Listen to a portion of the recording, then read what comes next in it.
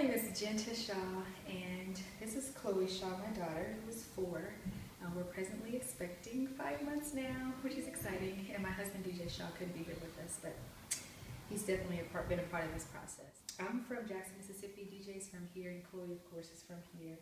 Um, and we're excited that we've been able to purchase our home here soon, make our dream come through, true through the IDA program. It'll be the first home that I've ever lived in that I've owned. I am excited to move. I can't can't tell you how excited we are to finally be moving into a place we call our own.